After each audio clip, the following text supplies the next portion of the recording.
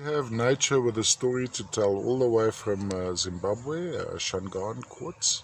Now, uh, color-wise, we're talking uh, uh predominantly uh, uh, maybe amethyst, milky amethyst.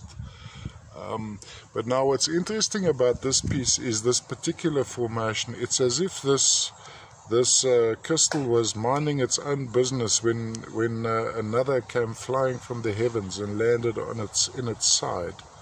A little bit of an amethyst tip there, bit of a coating of uh, chalcedony on the side. So this is, I'd say, a specimen with a story to tell. Um, we'll, we'll never really know, but we can imagine what happened here.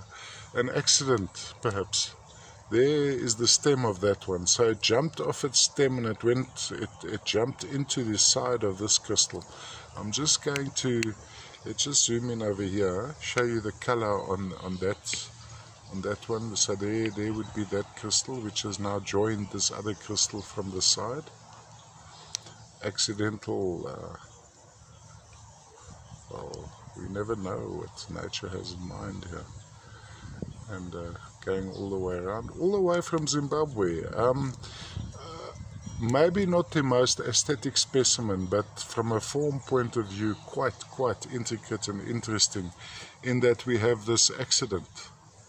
Here we go. Look at that. And I will look later to see if we find some gas come water bubbles trapped inside these. Uh, if they move, I'd classify them as enhydros. If they don't, they would be reflections. Often in these Shangaan quartzes, I find stationary bubbles, and I, I just go with reflection.